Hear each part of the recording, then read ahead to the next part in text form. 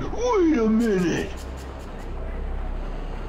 Hey, Hazuki, you think you can bump into me and not even apologize? Yeah, jerk. Apologize to Enoki-san. Well, maybe I'll just beat an apology out of you. I don't have time for this. Get lost. That's it, you're history. Ha! Gah! Yeah! Ooh. That's it. Oh. oh. Damn, you're pretty tough.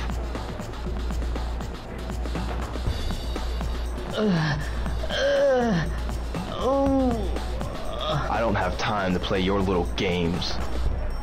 Yes, I- I'm sorry. You don't mess with me again. Got it? All right, all right. Uh,